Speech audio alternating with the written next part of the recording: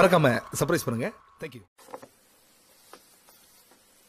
Mm, The queen and the bishop are also operating very well when creating opposite colored bishop attack. I'd like to show you one more sample besides the one that we have seen in the game Anand against Kramnik. In this particular case, Rublevsky against uh, Zhang Pengxiang. Everything started from the opening. Uh, it's the tournament uh, Poikovsky 2007.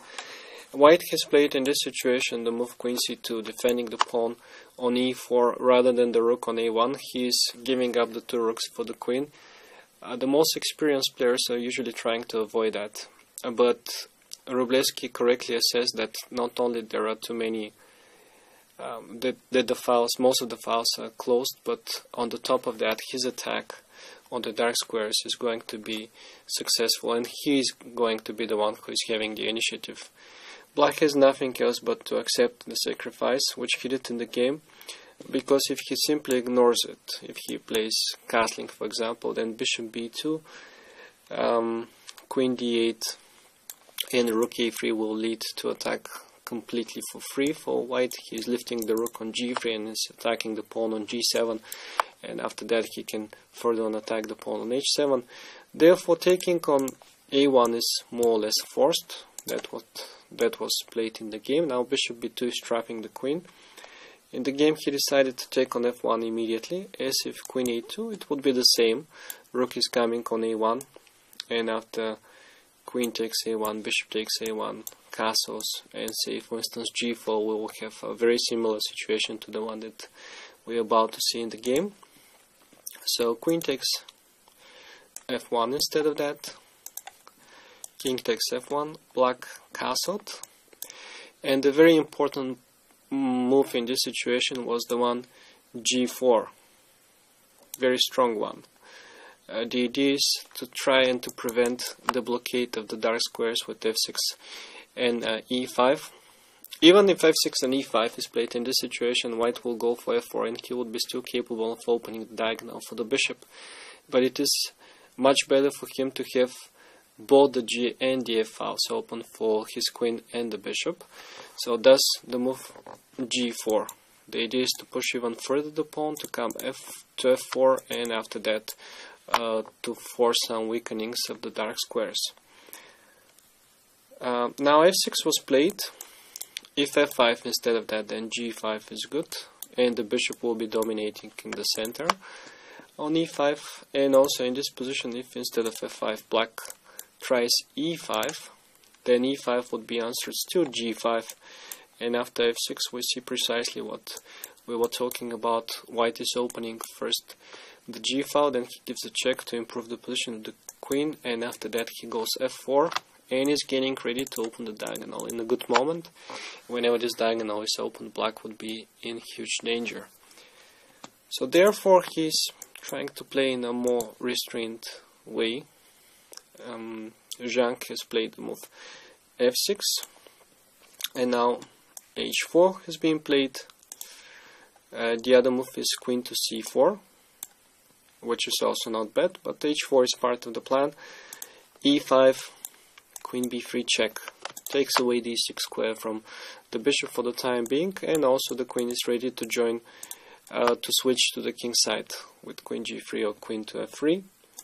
Rook f7 was played, there is no principal principled difference. If the king goes on h8 it will be pretty much the same thing after g5 bishop g4 gf6 gf6 the queen can come on e3 and after that f4 would be still prepared or the queen can also go on h6 before the f4 move is done. So back to the game where rook f7 was played. Now g5 consistently opening the diagonal for the bishop. Bishop d7 gf6 gf6 and once again we're opening the diagonal. It's not necessary that we open it with f4 the main thing is to open that uh, that diagonal and to try to reach the king at the end. d4 is very strong. And unfortunately for black he cannot keep the blockade with a move like rook e8 as after uh, d takes e5 f takes e5 not only the, the move queen g3 is possible here but um, bishop e5 is also possible. But okay, queen g3 is the strongest one. And after rook g7, queen h2, the pressure against the pawn on e5 forces the black rooks to uh, to stay passive. Once that they are passive, this pawn gets a chance to get further on. It will come on h6 on the next move, very close to the king. Um, that would be uh, really dangerous for the second player because anytime later white is threatening to play f4 to open that diagonal in a good moment in the moment in which he decides to first of all he can of course prepare something. He can bring the king to c1 even uh, away from any danger. And then in the decisive moment f4 would be played and that king on g8 would be suffering. So d4 was answered instead of that uh, with ed4 bishop takes d4 rook e8 f3 king g7 and now the queen is coming closer queen to e3 the idea is queen g5 obviously and to win the pawn for free and once again to open up the dark squares. H6 was more or less the only move. It was forced. But whenever this move uh, is done we realize that the g6 pawn has been weakened and also the pawn on h6 itself has become a weakness. And uh, instead of the move that Rublevsky played in the game queen f4 which was by the way also okay and at the end of the game he managed to to win it um, there was an even faster way for him to finish. He could have played h5 Looking at the g6 square, the threat is queen g1 check, followed by queen g6 to get into the opponent's camp and to start grabbing the pawns and attacking the king. If rook g8 in that case, then queen f4 is very strong, bishop e6, e5, and the dark squares are opened in white's favor. Or if f5, then we are looking for the other weakness, the one on h6 with bishop e3, and after rook h8, check, and queen g6, black is helpless. There are too many threats. Um, the renowned double attack is still working for us very well.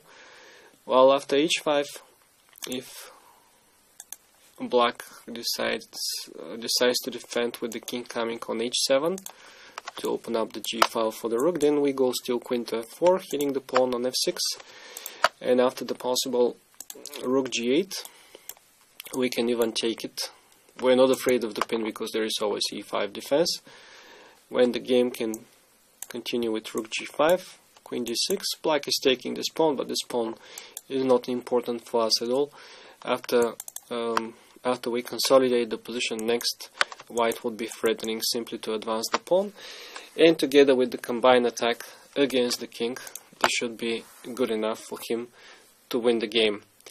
So the important thing whenever we have opposite colored bishops, no matter if we're having the rooks or we're having the queen, is who has the initiative, and the one who has it is the one who is usually winning. And in brief, um, let's summarize the positions with queen versus two rooks.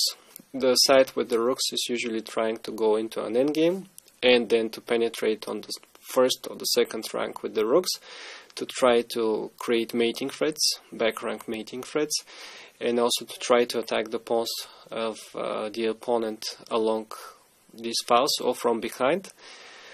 Um, in the middle game, if we have the rooks also, we would be looking for ways to open files and to give more work for them. While in uh, in most of the cases, the side with the queen is trying to to give enough operative space for, for the queen to create double attacks. This is the most common tactical method that the queen is using. And generally the queen is better in the middle game than the rooks. So this is what we uh, learned from this uh, part of the DVD.